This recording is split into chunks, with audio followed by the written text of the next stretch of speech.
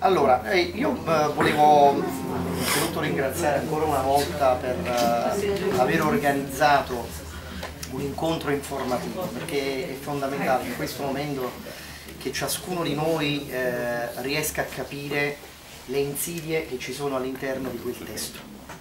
Perché quel testo è fatto da menti diaboliche. Se solo le mettesse a disposizione del bene staremo veramente tutti meglio. Perché già partono dal quesito.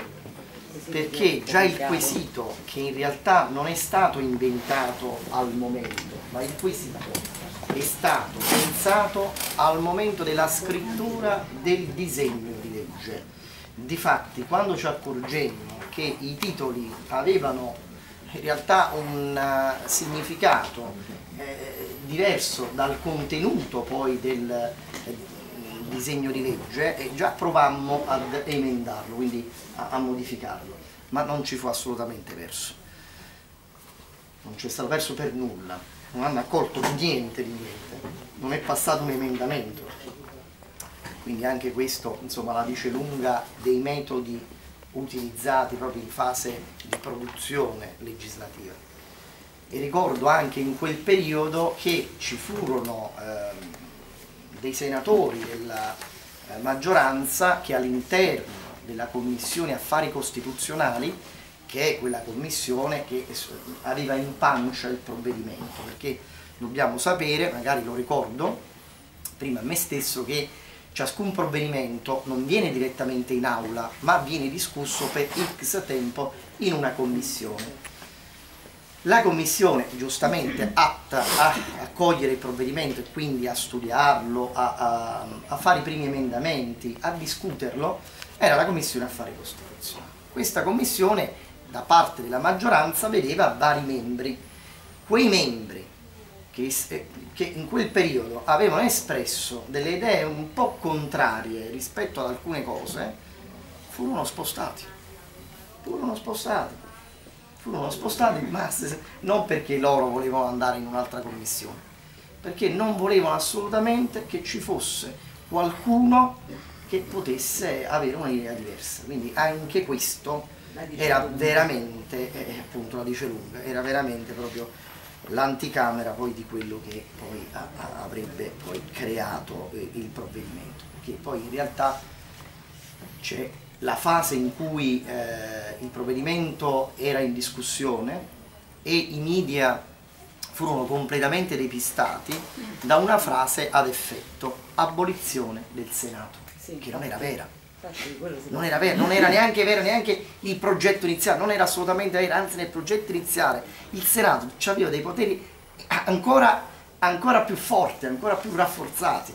Addirittura in legislazione europea era l'unico ad avere la, uh, uh, la, um, la facoltà di uh, poter legiferare e quindi gli era stata tolta alla Camera. Addirittura quindi era proprio un, un Senato proprio eh, che aveva un potere enorme di quello attuale.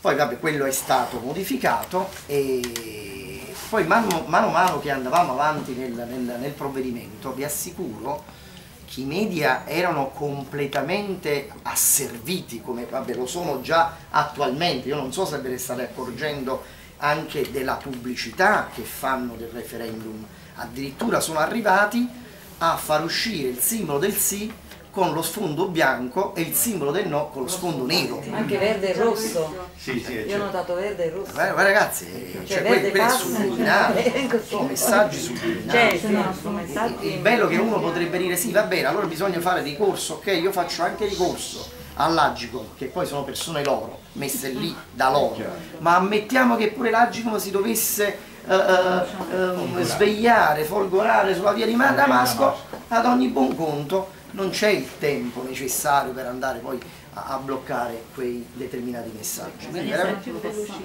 bisogna essere ancora più veloci, ma bisogna essere semplicemente democratici, veramente, mm.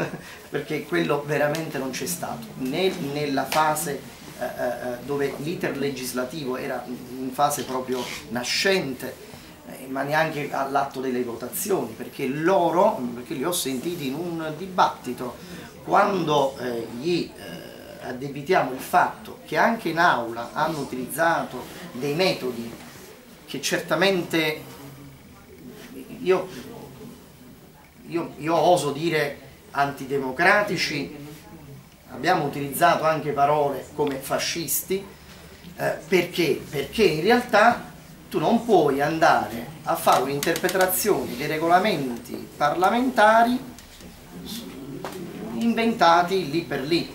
Ad esempio, l'iter eh, legislativo sia delle leggi di bilancio e sia della Costituzione devono avere un iter naturale, normale e quindi non è possibile presentare emendamenti cosiddetti eh, eh, canguro e loro presentarono un emendamento che fece decadere migliaia di emendamenti. Uno potrebbe dire, vabbè, ma uno deve pure lavorare.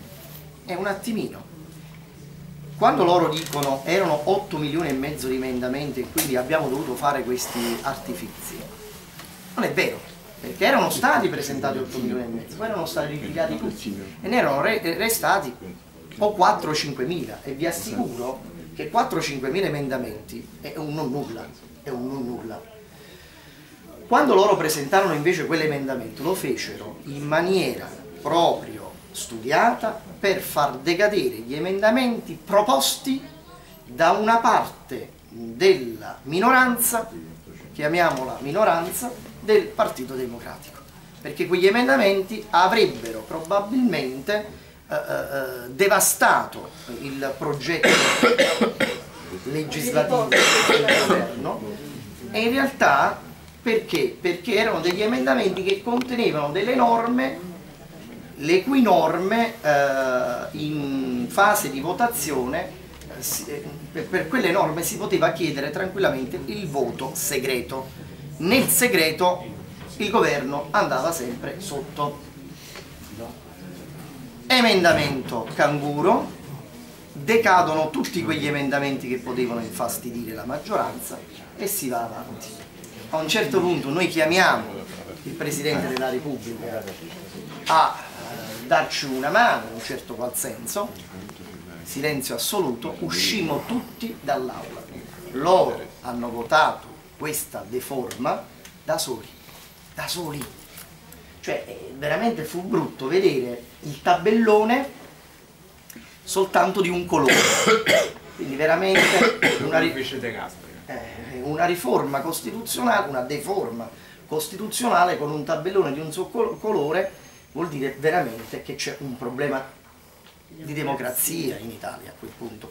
Perché non stiamo parlando di una legge ordinaria dove magari ci sta pure che la maggioranza imponga eh, la sua linea politica perché deve arrivare a um, completare il suo programma di governo eppure. Però ci potrebbe anche stare ma su una legge ordinaria ma qua stiamo parlando della legge delle leggi stiamo parlando della, eh, eh della carta dei diritti è la carta della democrazia di un paese.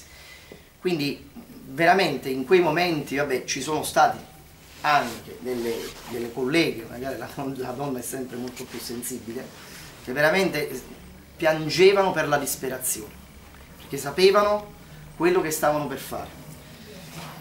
Io veramente quando adesso in questo periodo sto per strada mi accorgo che tantissime persone che sono convinte di votare il sì non sanno quello che fanno, non sanno quello che fanno. E allora chi sono? Sai, votano il sì. Facciamo l'identikit di colui che vota per il sì, scusami. Se non eh, sanno quello che fanno, perché votano sì? Perché sono degli anziani estraggono no, sono degli anziani convinti no no no no no no no che credono nel cambiamento perché si cambia no. questo è il punto sì, sì, il cambiamento il cambiamento cambiamento sì convinti e ci stanno molti più e da allora esatto la riforma è vitale e allora diciamo anche estraggono già avete le però di diritto precedente è una cosa molto come, uh, allora è chiaro quale potrebbe essere la proiezione sulla proiezione la comprensione. dopo il sì, Per la comprensione. cioè come fare e chi parlano del momento tecnico. assenti. Poi, no, però posso dire un'altra cosa, perdonate, approfitto che c'è il Movimento 5 Stelle. Io vorrei dire soltanto una mia impressione. Che sono sempre stata convinta perché non so Allora, quanto. Grazie. No, volevo fare un po' di pubblicità. Allora, qua è uscito un- circa un mese fa questo libro che la, la riforma- non si trova perché l'editore non si aspettava il successo che ha avuto, quindi non aveva stampato a sufficienza è andato a Renzi bene. Boschi Eh? mi ha chiamato, ha detto non ce la facciamo Non da si trova. Torino. ma eh, leggo non bene, si trova. leggo bene Renzi Boschi. Boschi. riforma leggo bene era il titolo non l'autore La riforma Renzi scritto. al nuovo Questo, questo, questo libro è un libro che analizza la riforma costituzionale Renzi Boschi e Ah, quali ecco, scenari. Un'analisi E a spietata. cura, eh, analisi spietata, Tecnica. tecnica, cura di? cura del sottoscritto ah bene e del, del collega qui mi Franco a me che è Francesco Zammartino che insegna all'orientale diritto pubblico io sono Spiegate il e nome abbiamo raccolto abbiamo raccolto abbiamo raccolto abbiamo raccolto ci sono molti allievi ricercatori che sono stati coinvolti sono circa una quindicina di autori e questo. Ma non si trova più quindi ma giusto per farlo sapere non per comprarlo perché ci sta questo, questo libro insomma, che è circolato in questo mese. Ho cercato di fare un punto un po' quello diceva prima molti non sanno non sanno perché effettivamente l'identikit renziano è un po' come diceva lei prima ma è anche come dicevano gli altri cioè un po' il, il renziano convinto a prescindere. Un po' è quello che vuole semplificare non si vuole attardare ad analizzare il testo No, ma c'è anche l'altro fenomeno poi- del, del ecco io non voto no perché io non mi voglio associare al, al Movimento associare? 5 Stelle, Salvini, eh. Berlusconi, io sono una di sinistra. Ah, lui l'ha detto prima, il mio no di sinistra ci ha tenuto però a precisarlo. ah, per dire no, perché c'è stata una strumentalizzazione come tutte le cose che accadono in Italia.